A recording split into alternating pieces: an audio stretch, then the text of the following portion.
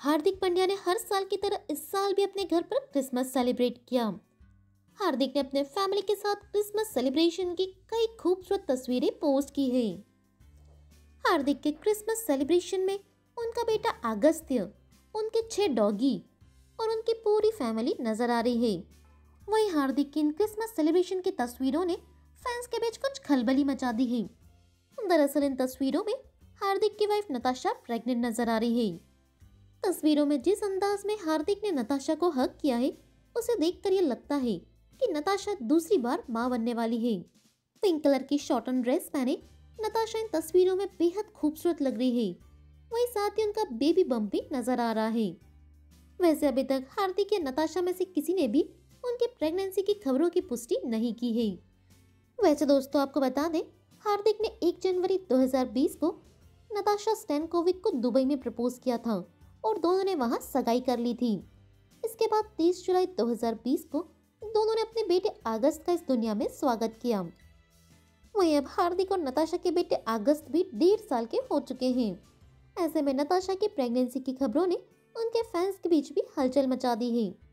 तो दोस्तों, आपको बता दें, हार्दिक और नताशा के क्रिसमस सेलिब्रेशन में उनके भाई कुणाल पंड्या, भाभी पंखुड़ी और उनकी माँ भी नज़र आ रही है।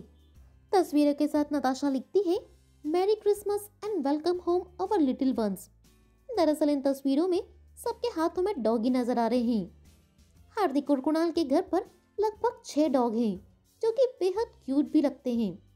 वहीं उनके घर पर इतने सारे डॉग्स देखकर फैंस भी तरह तरह के कमेंट्स कर रहे हैं।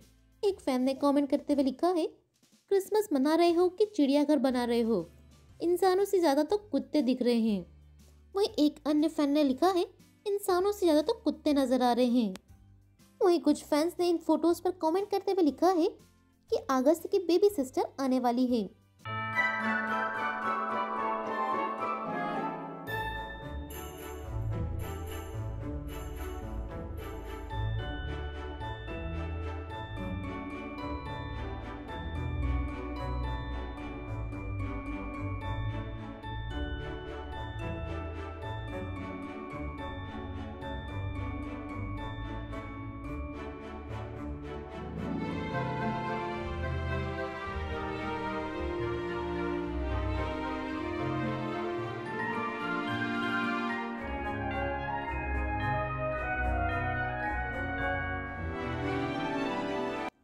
दोस्तों, आपको इनके क्रिसमस सेलिब्रेशन की तस्वीरें कैसी लगी?